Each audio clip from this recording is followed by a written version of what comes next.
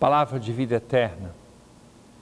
Do Evangelho de São João, capítulo 1, versículos 57 a 66 e versículo 80. Completou-se o tempo da gravidez de Isabel e ela deu à luz um filho. Os vizinhos e parentes ouviram dizer como o Senhor tinha sido misericordioso para com Isabel e alegraram-se com ela. No oitavo dia foram circuncidar o menino e queriam dar-lhe o nome de seu pai Zacarias. A mãe, porém, disse: Não, ele vai chamar-se João. Os outros disseram: Não existe nenhum parente teu com este nome. Então fizeram sinais ao pai, perguntando como ele queria que o menino se chamasse. Zacarias pediu uma tabuinha e escreveu João é o seu nome. E todos ficaram admirados. No mesmo instante, a boca de Zacarias se abriu, sua língua se soltou e ele começou a louvar a Deus. Todos os vizinhos ficaram com medo e a notícia espalhou-se por toda a região montanhosa da Judéia.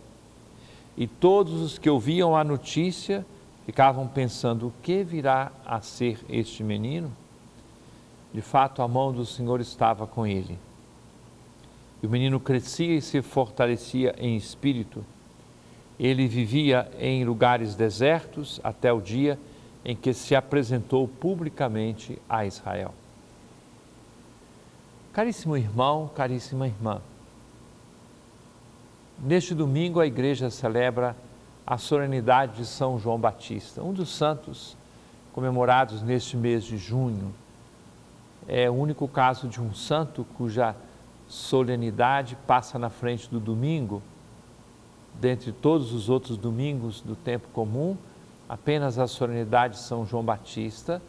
É claro, algumas situações quando é solenidade da Virgem Maria, mas, tirando isso, só São João Batista que ocupa este lugar, dada a importância da sua figura dele podemos apresentar, apresentar muitas coisas e podemos aprender tantas delas.